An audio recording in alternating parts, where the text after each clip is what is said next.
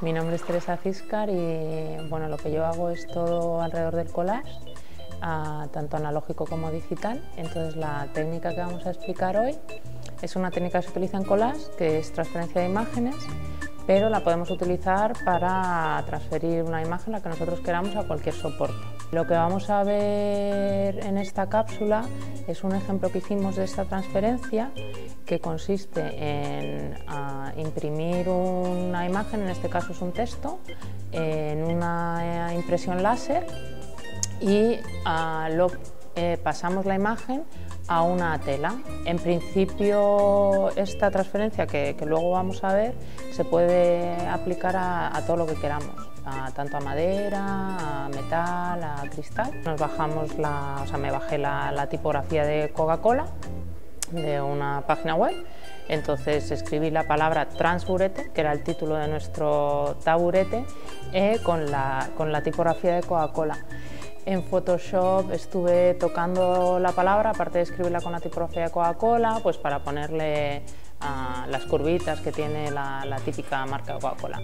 Una vez que, que, ya tenemos la palabra, cuando queremos hacer la transferencia, como lo que hacemos es pegar la hoja directamente al soporte, tenemos que darle la vuelta a la palabra, voltearlo, o sea, como si se viera en espejo. Ya una vez que la tuvimos volteada, pues lo imprimimos en láser. En láser mejor que en impresora de tinta normal, porque eh, la tinta se queda mejor. Eh, lo mejor en estos casos es hacer la transferencia justo después de hacer la impresión, porque la tinta está fresca. En nuestro caso no fue justo justo después, pero bueno, quedó, quedó bien.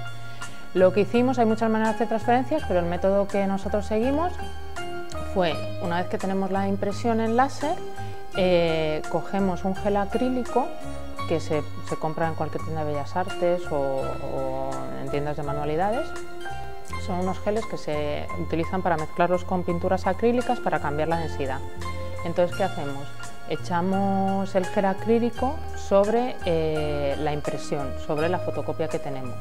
Y una vez que hemos cubierto todo, tenemos que tener cuidado de que toda la palabra se quede cubierta, porque lo que no se quede cubierto no se va a transferir. Ponemos la tela encima. Eh, dejamos la tela, eh, sobre el papel y entonces tenemos que esperar al menos unas 24 horas. Hay otros métodos que lo puedes hacer inmediatamente con disolvente y tal, pero bueno, nosotros eran los recursos que teníamos, utilizamos esto y, nada, pues a las 24 horas, bueno, en realidad fueron más horas porque coincidió en fin de semana, pero luego lo quitamos. ¿De qué manera se quita? Lo que se hace es se humedece el papel, o sea, se da la vuelta, se humedece el papel y una vez que está todo húmedo, pues se empieza a quitar la pulpa. Con el dedo se va quitando y esa es la manera de que se transfiera. O sea, una vez que se quita el papel ya se ve que está, está la tinta en el soporte, en este caso en la tela. Y bueno, esa es la forma que os he explicado hoy de hacer una transferencia. Hay otras formas, espero que, que esta os haya gustado y que la pongáis en práctica. Hasta luego.